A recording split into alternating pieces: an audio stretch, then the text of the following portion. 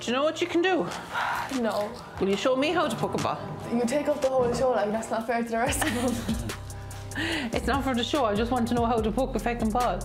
she catches three in a row, I did a washing up angina for the For, day. for three days. For the day, go away. Richard and, and Grace have a connection uh, with sport, like, and they're very close. And myself and Grace were very, very close when, when she was younger. And when I went to college, we, we did drift. Myself and Grace did drift apart, and I neglected her maybe a small little bit, which, of course, I have the mammy guilt over. It was really weird, man pucking the ball. She doesn't go out and do stuff like that.